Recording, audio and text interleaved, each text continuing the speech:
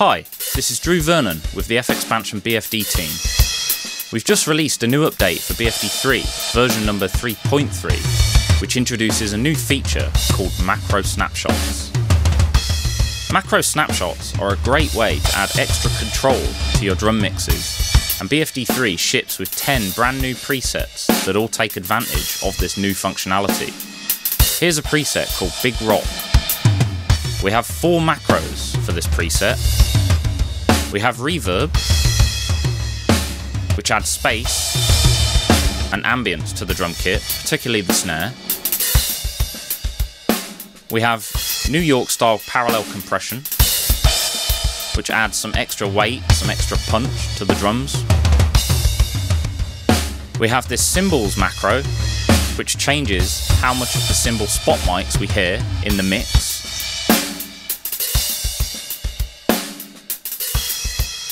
And finally, we have the smack control, which is doing a number of things behind the scenes to really bring our drums to life.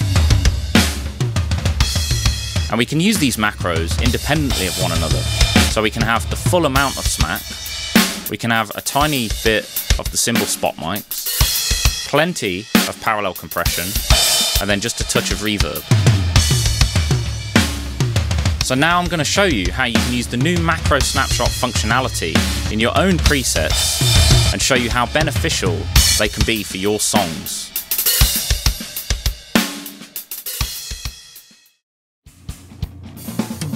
So, here I have BFD Crush loaded into BFD3, and we have a song in the background. First, let's open the Macro Snapshots panel.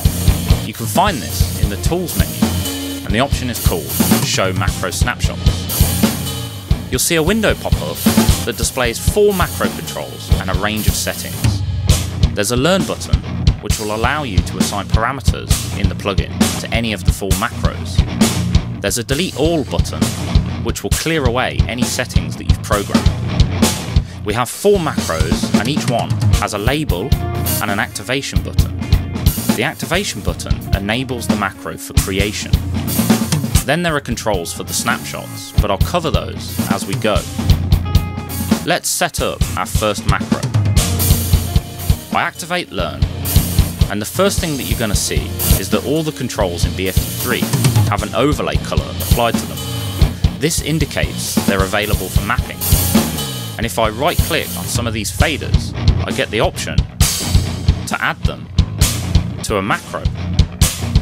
And so there I've just added the amp mix, the shells, the cymbals and the reverb faders all to macro 1.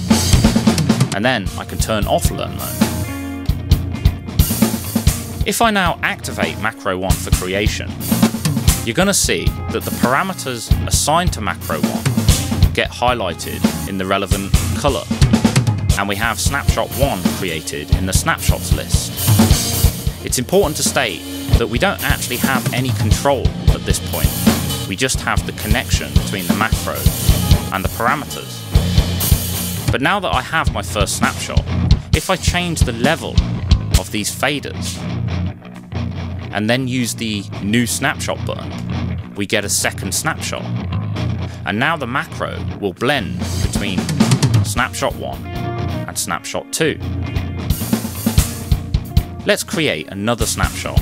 And for this one, I want mostly shells, no cymbals, no reverb channel, and about halfway on the ambient bus. Let's create another snapshot. And we get snapshot 3, but these snapshots can be in any order that I choose. I can rearrange them using the swap buttons here. So let's place snapshot 3 in the middle of the knob's travel. And now,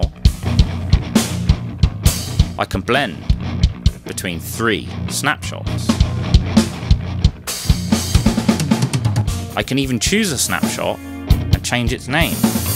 So snapshot 1 we can call full. And if I select a snapshot and hit recall, that snapshot will load. And we can name snapshot 3 shells. And we can do the same for snapshot 2 and name it silence. I can also delete snapshots using the delete button. And if I select a snapshot and recall it and decide that I want to make a change, let's say I want to bring down the ambient channels for the full snapshot, we can do the action and then we can replace snapshot. And now that snapshot will be updated. So hopefully now you're beginning to see just how powerful this system can be. Let's move on to some more advanced examples.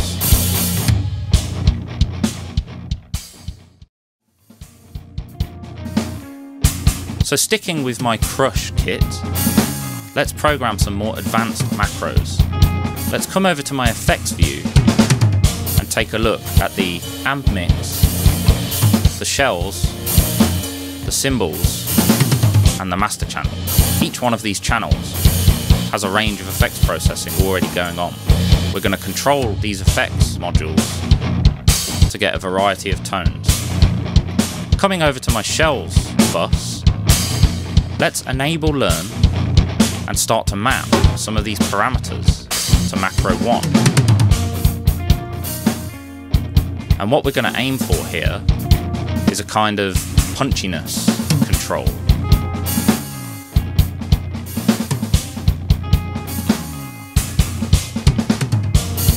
And it's important to state that any parameter that you do want to control from a macro absolutely has to be mapped to a macro.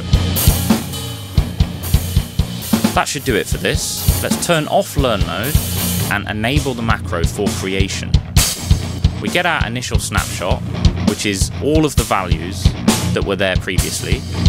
Let's get something that sounds a bit more punchy.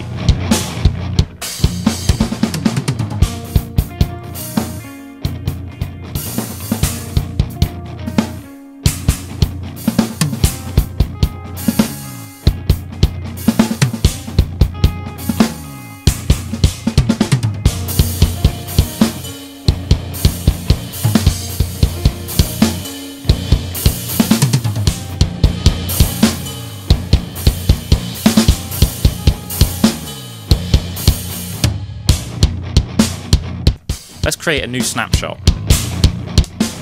Snapshot 2 is going to represent the maximum amount of punch that this macro can give us. And now, if we just dial back the macro slightly,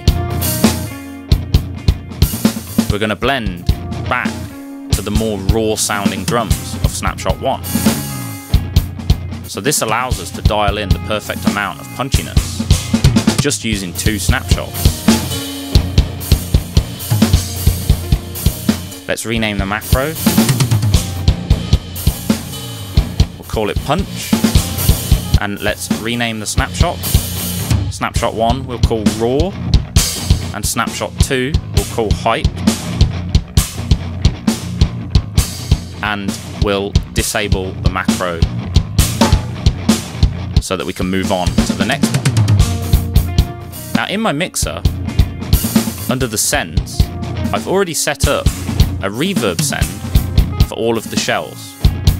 And that's this reverb bus over here on the right.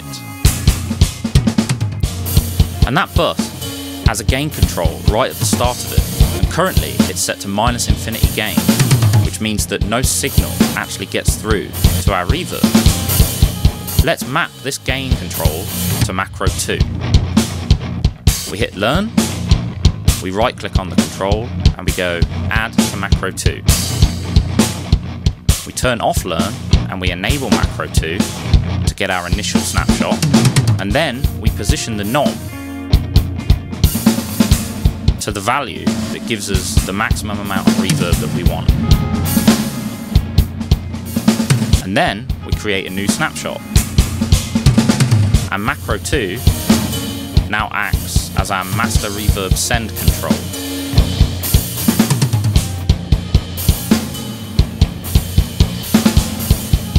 So let's rename macro 2.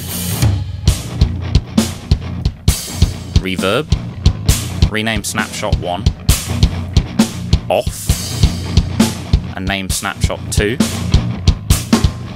Full. and turn off macro 2. Macro 3, we're going to do something with our ambient mix bus. So let's learn some of these controls.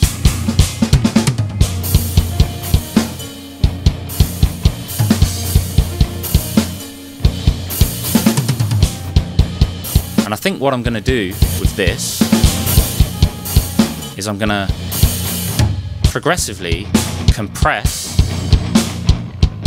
and brighten the mix bus. And we'll also have a little OTA distortion. Activate macro 3. Change our parameters.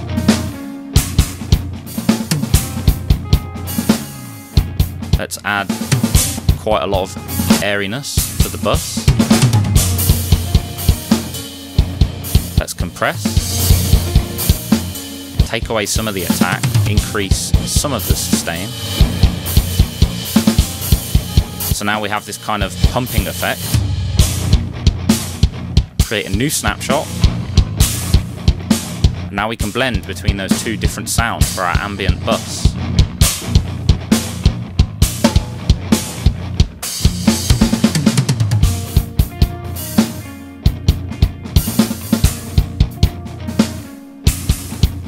Name the macro. And we'll call it ambience. Snapshot 1.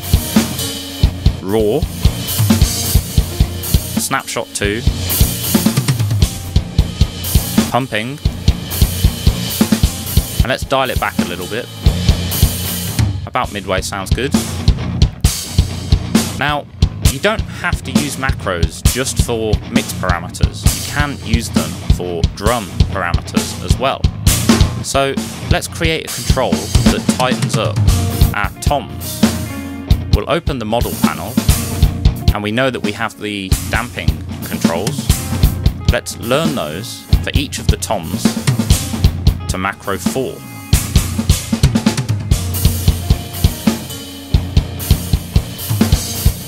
Since we have six toms,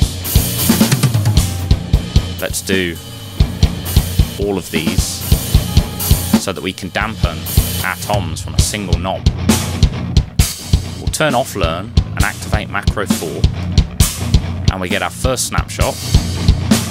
And now we just need to go through each tom and set the amount value to around noon.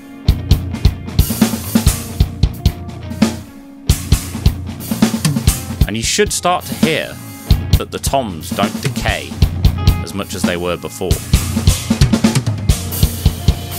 Which means that a lot of the low end resonance that you get from tom microphones is now gone.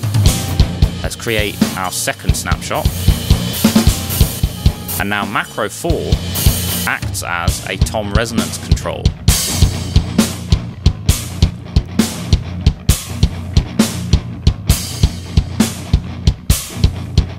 This is without.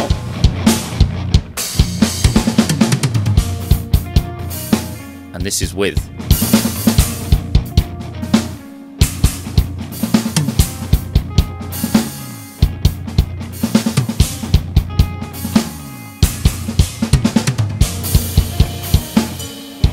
So let's name this macro Toms. Let's name snapshot 1 full decay, and snapshot 2, half decay.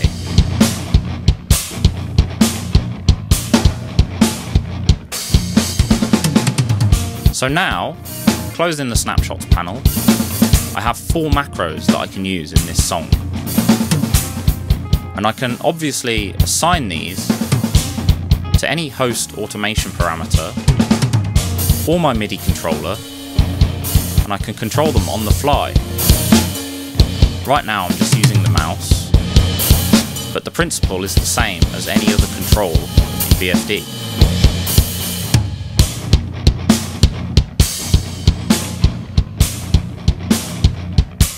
And once we've set up a preset that we like the sound of, we can come over to the File menu and we can choose Save Preset, and we can save it to our user presets folder, Drew's Proggy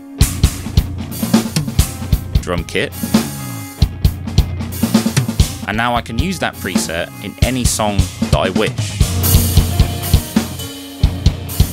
Thanks for watching, and if you have any questions, please post below if you're on YouTube or indeed on Facebook. And you can contact the FXpansion support team through roli.com or fxpansion.com. And any assistance that you require, we will be very glad to help. Thanks very much.